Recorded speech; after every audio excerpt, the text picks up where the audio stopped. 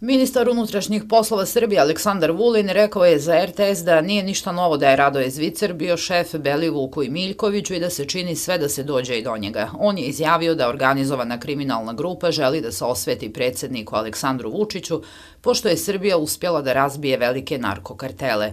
Napomenuo je da postoje vrlo osnovane pretpostavke gdje se nalazi Radoje Zvicer.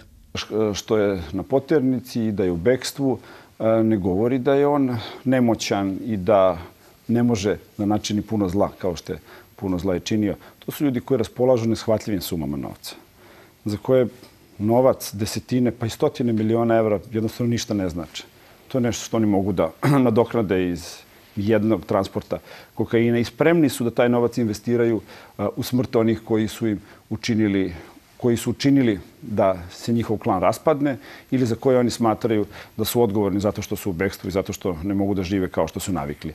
Predsjednik Aleksandar Vučić je taj. Zvicer ne radi sam, on ima svog političkog šefa, naveo je Aleksandar Vulin i objasnio da taj politički šef nije u Srbiji.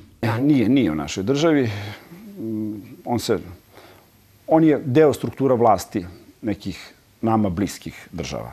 I on je čovek koji već decenijama rukovodi sličnim sličnim ljudima kao što je Radoje Zvicer. Region, radili se u susednoj državi? Ne, ne bi bilo korektno uh -huh. sa moje strane da bez apsolutnih dokaza Dobro. i bez podignute optužnice izađem sa bilo kojim imenom, ali više nego jasno da se ljudi kao što je Zvicer nisu ni nastali ni postali bez aktivnog učešća politike. Istakao je da se u istrazi o pokušaju atentata vodi računa o svakom detalju, pošto su u pitanju državljani različitih zemalja koji imaju veliku moć, puno novca i imaju sposobnost da dođu do ljudi u Srbiji koji bi uradili tako nešto za novac.